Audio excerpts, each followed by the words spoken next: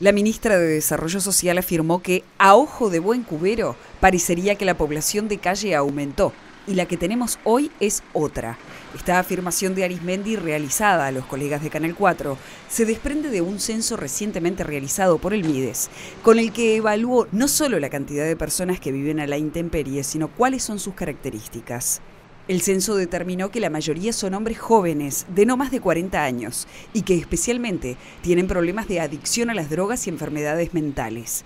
La ministra afirmó que cuando el MIDES comenzó a funcionar en 2005, lo que se encontraba en las calles eran familias enteras que se habían quedado sin casa y sin trabajo, y también a personas mayores. Los consultados en el censo justificaron estar en la calle y no ir a un local de refugio del Mides, porque según dicen, ahí los roban o porque en la calle se es libre.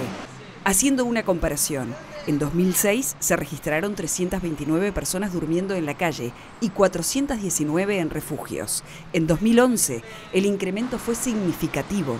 1.244 vivían en la calle. Según el MIDES, ese censo fue más preciso y a eso se debe el aumento.